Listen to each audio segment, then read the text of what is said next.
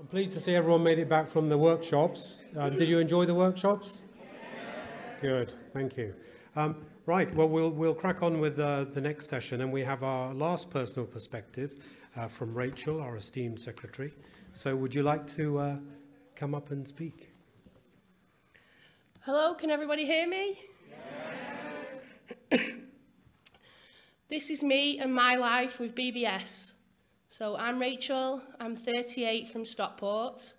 I went to mainstream nursery, primary, primary and infant and secondary school. It wasn't till about the age of 15 that I started to struggle with night blindness. I started falling over things. For instance, my mum and dad would put a coffee table out and I'd floor it. Um, they'd put a pair of slippers out and I'd fall over it. They thought I was being a clumsy teenager at the age of 15, Um, but then I went to the optician and the optician said I had astigmatism. They then sent me to Stepping Hill and Stepping Hill told me I had retinitis pigmentosa, there was no cure and I was going to go blind. At the age of 16, it was a bit of a shock, not sure what to do, as I was wanting to go and travel the world and do international tourism.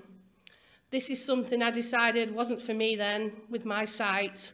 So I decided to go to college I did leisure and tourism, a year's intermediate, and I obtained Student of the Year and um, got a distinction.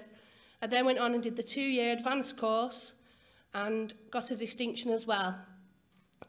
Whilst studying at college, I worked at Summerfield Supermarket on a delicatessens counter, checkout and kiosk and other jobs as well. I had a good social life with friends and the only problems I seemed to have was my night blindness. Everything else was good. Um, I then went on from Summerfield to work in a going places travel agent. I did it for a year, glammed up in a lovely blue check uniform, lovely blue, lovely blue um, coat, blazer, and lovely navy blue court shoes, and a lovely navy blue bobble, smiling every day, saying, come on, you know you want to book a holiday. um, after a year of doing that, I decided it wasn't for me. Too much smiling, too much sitting down, too much saying, do you want to book the holiday or not? Come on, give me your money. um, so I decided it wasn't for me. And in 2001, I actually went on Stockport Council's Bureau. Um, luckily, I was living at home with mum and dad, and I didn't work for a bit. And then I went on the Bureau. Um, at the Bureau, I started in the sports letting team, worked with all the lads doing football, and I do love football, so that was good. worked in human resources, drug action team, and in July 2002, I got a permanent position as a clerical assistant. It was brilliant. It was a new unit in the community safety team, helping um, promote, raise awareness of crime, disorder, antisocial behaviour and domestic violence. It was brill. My sight was okay, it was stable, and as I say, the only problems I had was night blindness. In 2004, I met my previous partner, and life was good. I then got different jobs within the community safety unit as a community safety officer, and in 2007 I got a great job as a domestic abuse coordinator, helping survivors of domestic abuse, supporting them through court, raising awareness, conferences, and working in the police station. I met a lot of people going through lots of circumstances. It was a brilliant, brilliant, brilliant position to be in. Unfortunately, in 2008, someone in my life passed away that was very, very dear, and that was my nan. She had a brain tumour, um, which was diagnosed in the February, and unfortunately in 2008, on the 28th of October, she passed away. She was a massive person in our life, and she was very determined, and she had the gift of the gab, so I think that's where I've got it from. um, in 2009, I carried on living life, working at the Domestic Abuse Unit, and I lived with my partner in our own home. In 2010, I was diagnosed as severely, severely sight impaired. My sight had changed, but it was still okay as the only problems I seemed to have was the night blindness. I was able to go out and about with friends, family, and everything else. It didn't really stop me doing anything. In 2011, after several times of what I thought was fainting and passing out, actually turned out to be epilepsy. Four seizures later, cuts to my face, neck and other areas, I was diagnosed with epilepsy. I was given medication and it seemed to help stabilise it. Also in 2011 I got married and everything was good. In 2012, after genetic testing, I was diagnosed with BBS1. Yet again it was, well, what does that mean? What is BBS? I didn't have a clue, but when Georgina Hall from Manchester Eye Hospital explained everything. Things really did click into place. The obesity, tick. Polycystic ovary syndrome, tick. Wide feet, tick. Extra teeth within my mouth and other things as well. They all just clicked into place. Life was going good until the end of 2012, where the Community Safety Unit decided to get rid of all their specialisms. They wanted us all to have generic roles. January 2013 was, the, was one of the worst years of my life as we restructured in the unit and I didn't get the job I wanted. When I went for the position, they gave me the test in a size 11 font. As you can imagine, not being able to see, I had a panic attack, a meltdown, and the interview just went, all I can say is very wrong. I didn't get that position, but I interviewed for another one and I got it. It was just a generic community safety support officer. In the 2013, unfortunately, my marriage didn't work and we went our separate ways. In the October 2013, I had the worst seizure of my life. I was at my mum and dad's and all I, can, all I know, because I didn't know anything about it, I don't remember what happened, is I was cradled in my dad's arms, going blue. Three paramedics pinning me down and shouting at me. That's all I know, is I don't know anymore. But anyway, that's gone now. I've moved forward. In 2014, I came back to being Miss Foley. Mrs. Walker went out the window. I got back to being the single girl in her own home, in her little terraced pad. I then thought I would try and find people of my own age who had a visual impairment. I couldn't find anybody in Stockport, so I looked further afield and I went to an RP Fighting Blindness Patient Information Day in Birmingham, where for my sins, and I might regret this now, but I met a famous Liam Dempsey, who was sat in the audience, um, a lady called Ruth Wormsley who set up Manchester Blind Football Club, and also another gentleman I exchanged numbers with Ruth, and all I can say is it's changed me forever. At the end of 2014, I went to my first Manchester Blind Football Club event. I met lots of friends, exchanged numbers. In 2015, I got more involved with Greater Manchester VIBs, which is a sport and social club. The club paid for me to go and deliver and take part in a level one tennis coaching course. I was the only blind person on the course, there was 10 of us. Yes, I was like the alien that had landed in the room.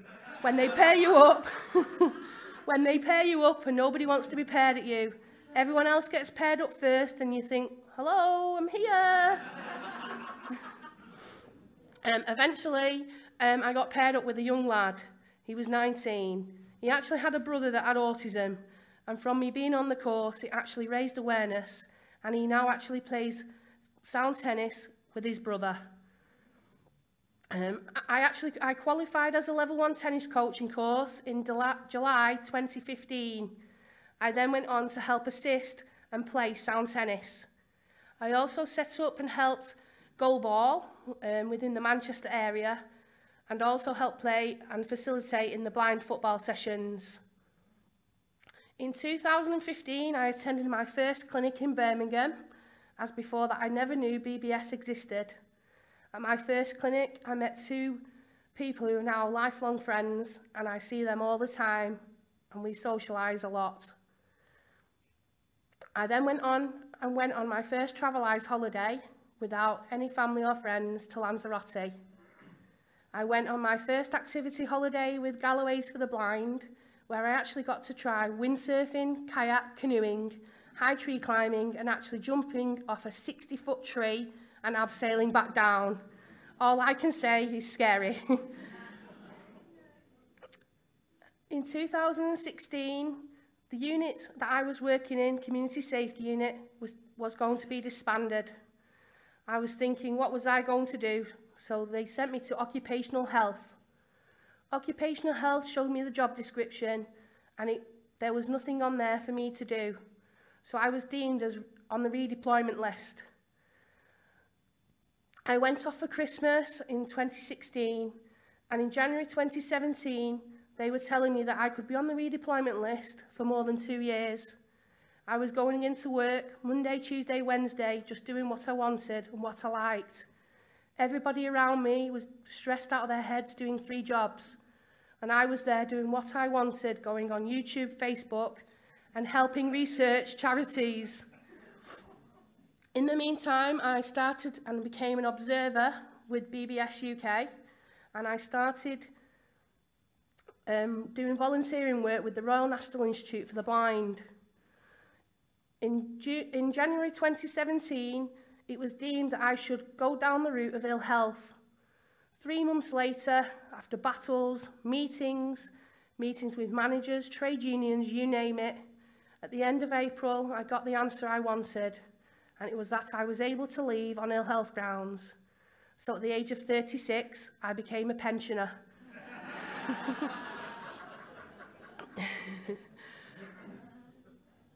and that was 20 July 2017.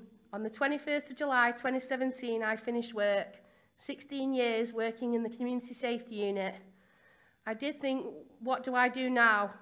I'm only 36 and part of my contract is I can only do volunteering work.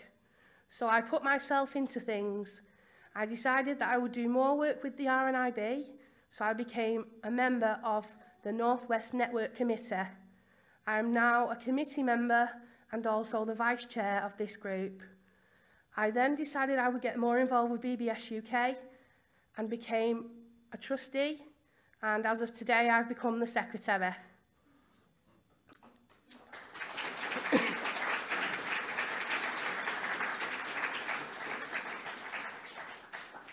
In 2017, in the August, I went away with three of my best friends who also have BBS 1. The three of us went away to Mallorca. We didn't have any sighted friends or family. We scared our parents to death. um, and when we got to Mallorca, it was like the minions had come out from nowhere. we had all the support we needed, and we were treated like kings and queens. There was only one funny moment on it when we heard a couple talking about us, saying, Oh, there's two of them, there's two of them with the white canes.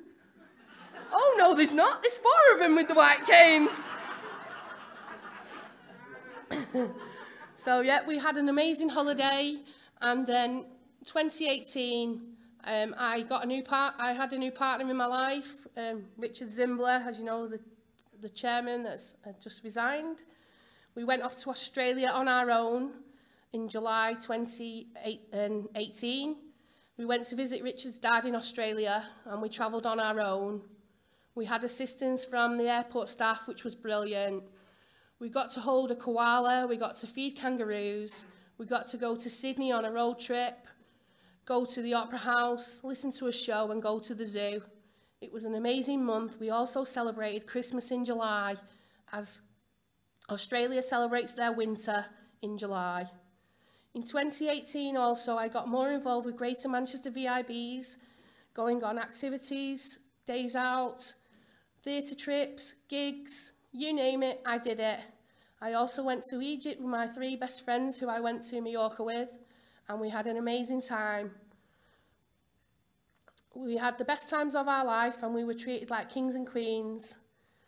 For me, what I would say for anybody new diagnosed with BBS or family members of people with BBS, just because you have been given BBS doesn't mean your life's over.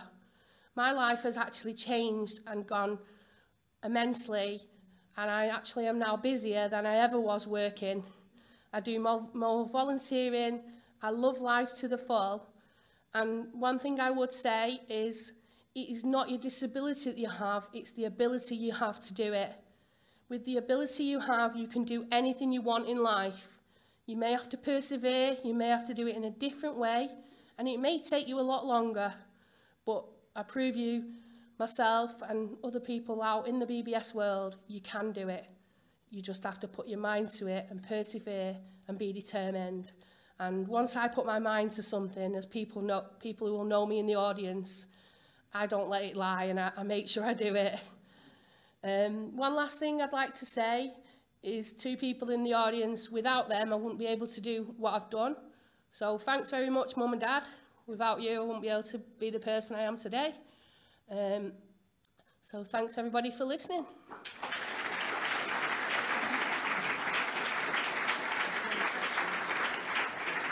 Any questions? Want to ask?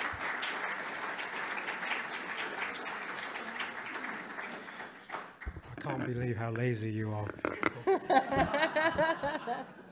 That's amazing, absolutely amazing. Uh, it's a lesson, inspirational lesson for all of us, uh, definitely.